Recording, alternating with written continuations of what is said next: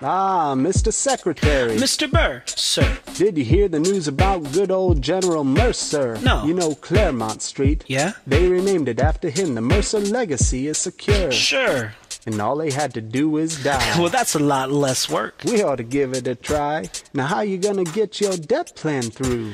I guess I'm gonna finally have to listen to you. Really?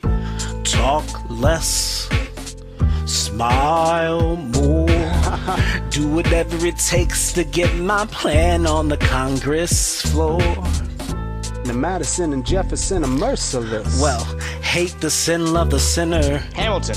I'm sorry, Burr, I gotta go. What? Decisions are happening over dinner. Two Virginians and an immigrant walk into a room. Diametrically opposed foes.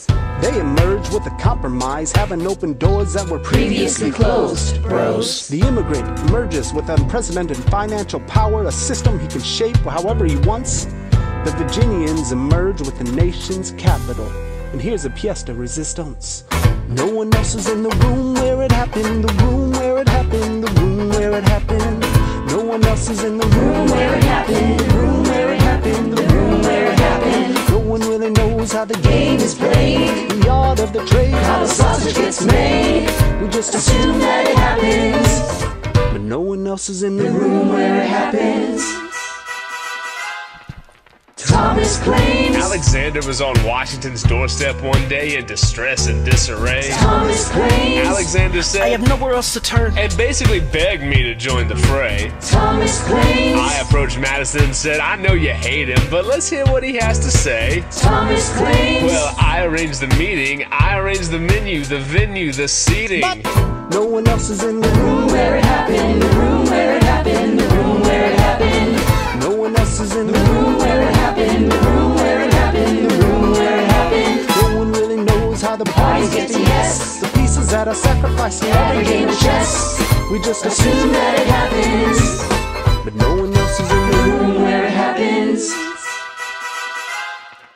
Meanwhile, Madison is grappling with the fact that not every issue can be settled by committee. Meanwhile, Congress is fighting over where to put the capital. Ohio. It isn't pretty. Jefferson approaches with a dinner and invite. Madison responds with the Virginian insight. Maybe we could solve one problem with another and win a victory for the Southerners. In other words, uh-huh. a quid pro quo. I suppose. Wouldn't you like to work a little closer to home? Actually, I would. Well, I propose a Potomac. and you'll provide him his votes. Well, we'll see how it goes. Let's go. No. one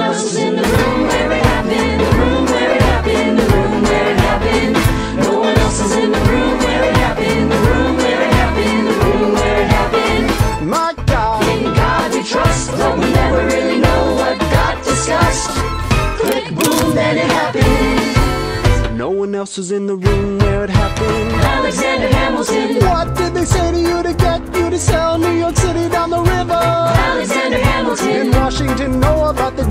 Dinner was a presidential pressure to deliver. Alexander Hamilton. Or did you know even then it doesn't matter where you put the U.S. Capital? Cause we'll have the banks. We're in the same spot. You got more than you gave. And I wonder what I got. When you got skin in the game, you stay in the game. But you don't get to win unless you play in the game. Oh, you get love for it, you get hate for it, you get nothing if you wait for it, wait for it, wait.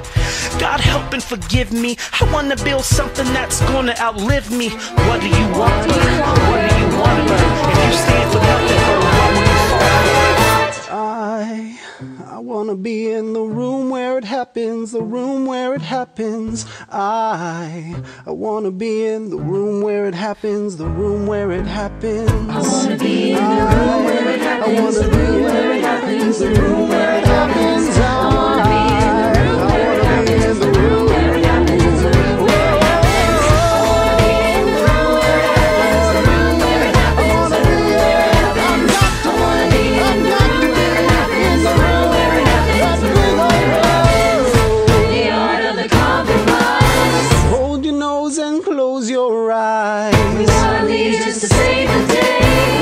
We don't get a say in what they trade away.